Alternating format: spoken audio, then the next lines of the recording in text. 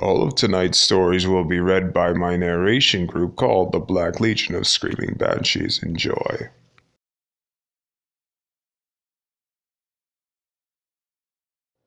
I had a recurring nightmare starting when I was four until I was ten. I was in my living room, my grandmother's kitchen, my classroom, or friend's house. Then I'd be in my bedroom. It was nighttime, but a cold, bright light filled the room. The moment I realized the dream had shifted to my bedroom, I would hear a series of approaching footfalls set atop a faint, high pitched whir. It was coming just for me. It implored me to look, but I crouched down on the floor. With my hands over my head and my eyes squeezed shut, it started at the foot of the stairs, but it quickly grew closer. It made its way into my room, then it was right behind me. It wanted me to look, but I wouldn't. Then I'd be awake and safe in my dark bedroom. During that six year period, I was also sleepwalking. I usually didn't make it too far, but once when I was nine, my mother found me lying in the middle of our street at 2 a.m., and her scream nearly woke the entire neighborhood. I'll never forget that scream. After that, my parents tried locking me in my room with a baby monitor for safety. But twice more I miraculously managed to sleepwalk my way out of the locked room during my episodes. My parents still ask me how I accomplished that, as if I had any idea. The last time I had the nightmare as a child, it ended differently than all the others.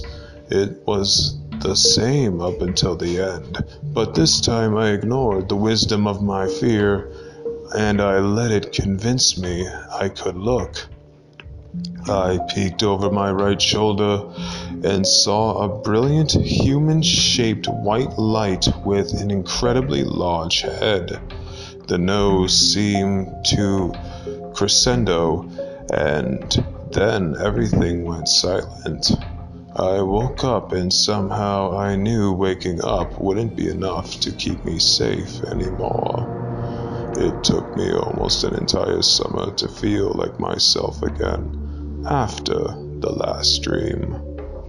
I'm 34 now, and the nightmares are back. I haven't been sleeping very well, and I'm losing time.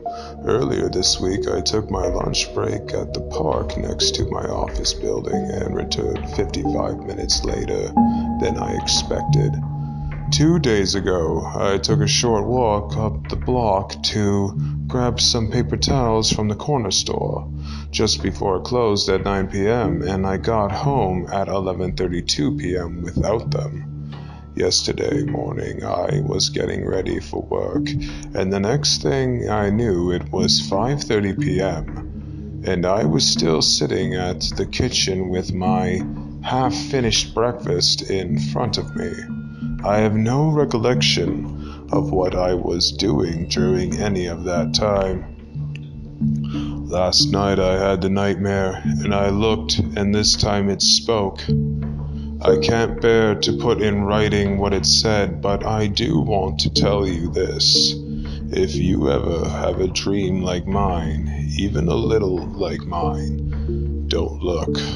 No matter how much you want to, how much it pulls you to, even if it tells you it's safe to do so. Please don't look, because looking gives it permission.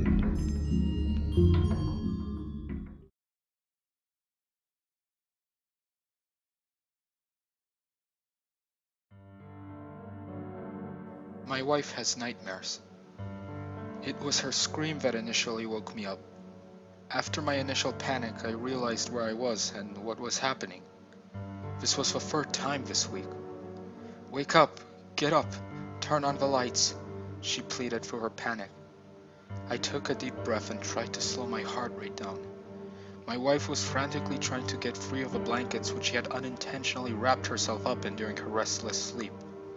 The room was completely dark, and even now there was little difference between having my eyes opened and closed. Turn on the light, she begged once again. This was how she reacted to her particularly scary nightmares. For as long as I've known her, she has had sleeping issues, and random nightmares that would cause physical reactions like this. But she's never had them this frequently. I was chalking it up to the fact that she has been working insane hours lately, eating irregularly, and sleeping very little. After everything she'd recently been through, I was just happy that she was sleeping at all. She is a mental health therapist, and about a while back, one of the children she works with started confessing that her father was abusing her and her mother.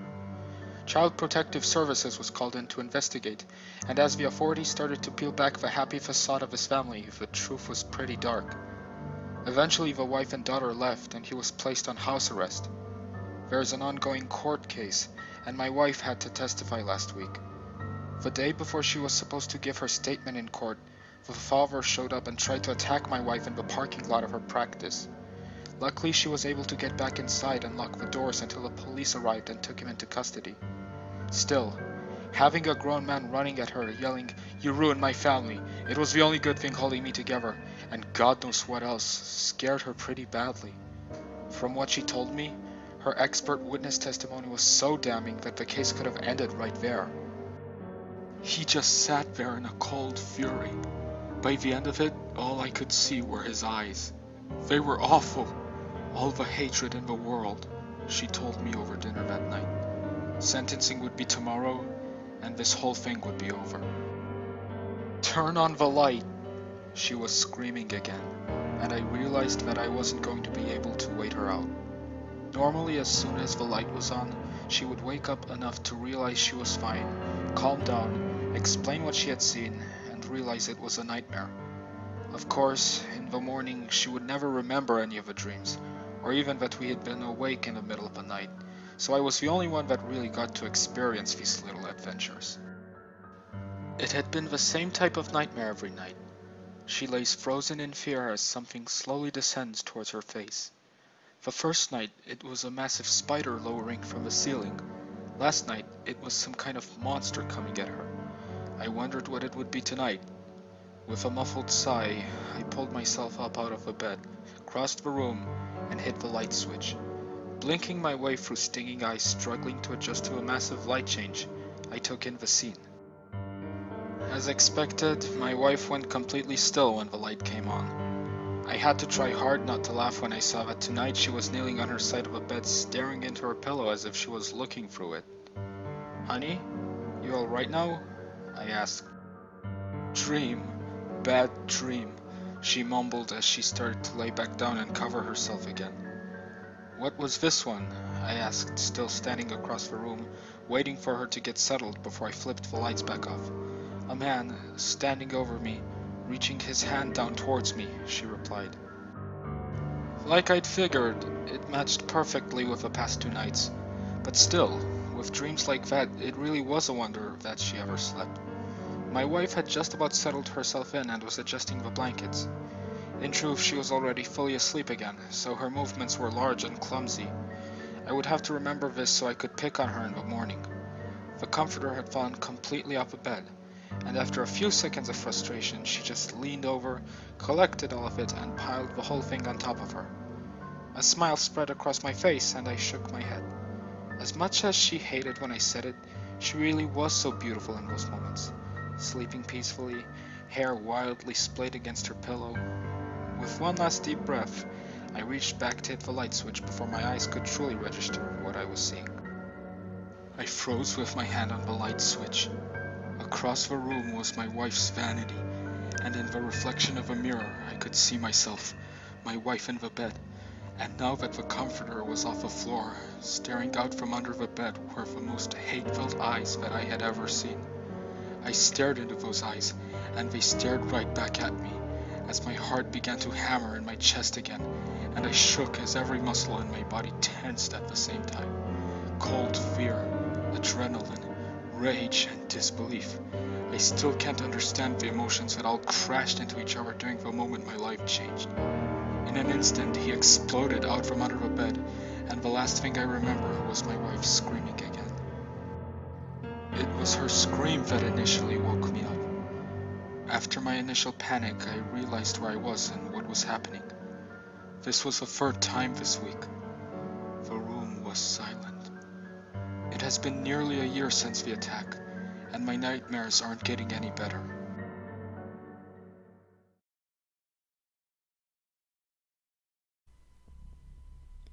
Have you ever truly felt like you were dying in a dream? Running was like running through wet cement. The terror was felt when you jolted awake from the nightmare. Sweating, heart racing, wanting to just run away, but it is so hard. Many claim that it is an escapism element that is in your life issues. Someone that hurt you, did you wrong, or was just plain mean. That is the excuse. This is an account of a nightmare that was acted out without remorse. Dreams of blood and chaos, slicing and cutting was the dream. Blood, blood. The irreversible damage was that I did not want it to be reversed. Deserving is deserving. I am not your typical man. I am a thin man to myself and quiet. Nerdy lurker on Imgur. Typical weirdo, but not weird at all. As a teen, I was massively bullied, made fun of, my older sister fought my battles for me, and I was grateful. I was smart, honor student, and rolled with the punches. As I grew older, my tolerance for bullying grew smaller. I was aging. I had friends, boyfriends, girlfriends. Over it with that instance now. Strictly dickly now, if you will. I've always had nightmares as a child. Hallucinations about random shit. Cars, trucks. My hands were small and my dick was huge. Don't ask it. It was a weird period. My dreams, though, always consisted of a trigger element. I've always thought about murdering someone and getting away with it. My hellish thoughts needed to be acted out. Criminals these days are stupid as hell. As much information is given in movies and such. My story is about payback. Everyone has thought about it. If you could get away with it, would you? I'm sure 100% of you would say yes. My nightmare was about a particular individual that fucked my life up. My dream was about me getting bullied again. The culprit was cocky, said what he had to say, showed his prowess on what he did, and so forth. They say that the quiet ones are the scariest. I now know why this is true. As a bully victim, the quiet ones have time to think. The pain is temporary, the insults will fade, but the vengeance is brewing. Bullies, punks, assholes, better than thous will get theirs. Quiet people brainstorm. We do not want to make a bloody mess. We calculate, watch, learn, rehearse, bide our time. So there was an instance when we had to go and mow our aunt's lawn. He did not know about the rocks tucked behind the blades of said lawnmower. it wouldn't start. Hey, um, you check it out. As he pulled the throttle, the shrapnel flying into his face was priceless, to say the least. Kind of reminded me of an art assignment. I'm sure I won't have nightmares anymore. Oh, and the grass looked fabulous. There was blood and chaos. Mm, I won't say chaos, it wasn't. Happiness ensued. The ending is of this there are loud nightmares, screaming nightmares. The ones that need a beware sign are the quiet ones. As long as they are quiet, you need to worry. If you don't, plan your funeral now. Bullies will always get their asses handed to them. If you choose the quiet ones, it will be a nightmare. Sadly for you, you won't wake up.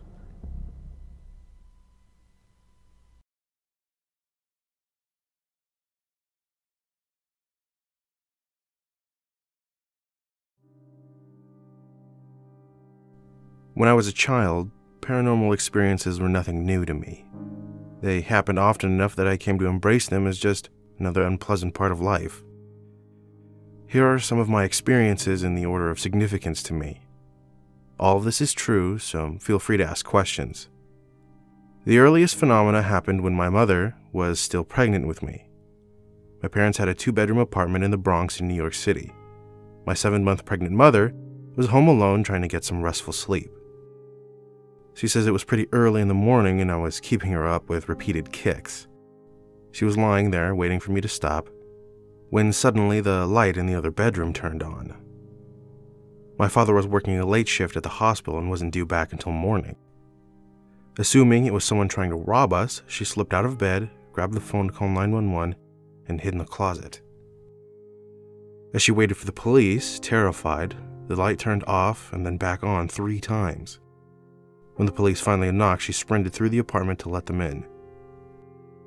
She says she never looked in to see who or what was there, but as she ran past the room, the light turned off one final time.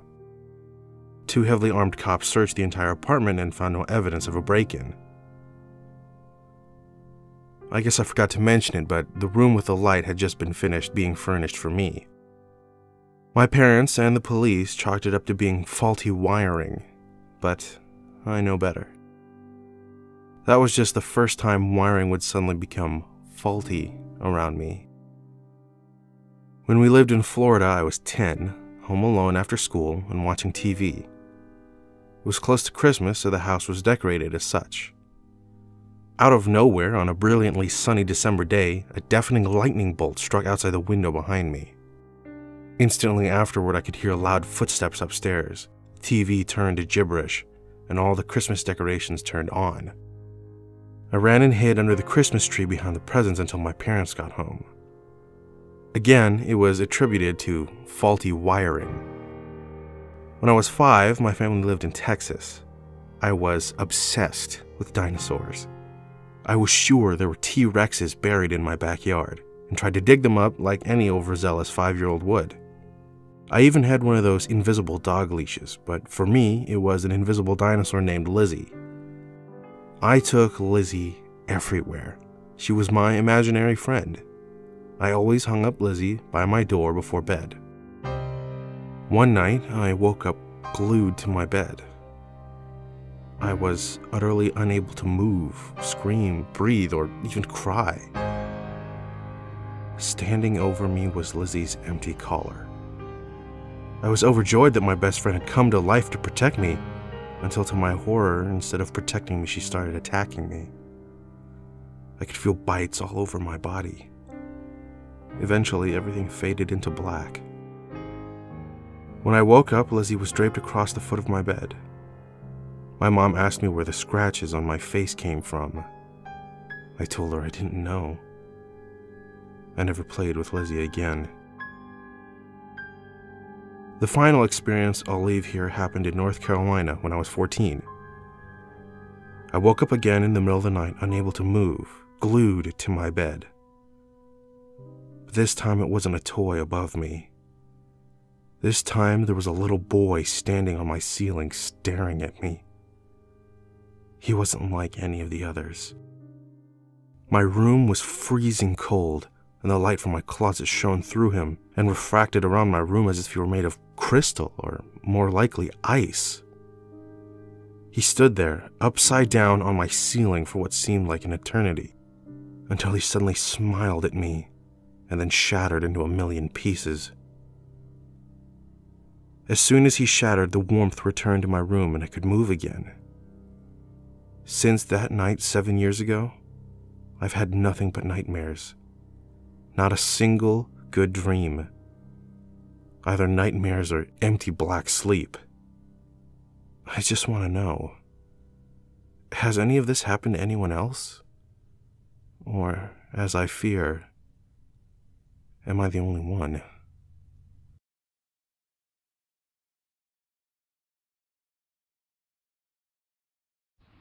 If you enjoyed this truly and would love to hear more terrifying tales such as these, then I must encourage you to become a follower of the Black Legion of Screaming Banshees. There will be a link to every single YouTuber that you heard here tonight in the description below. As such, I must also end this by saying, we are the Legion. We are the ones that keep you up at night. We are the sore, nightmarish visions that your mother warned you about. And with that said, I am out. This is the voice of nightmares.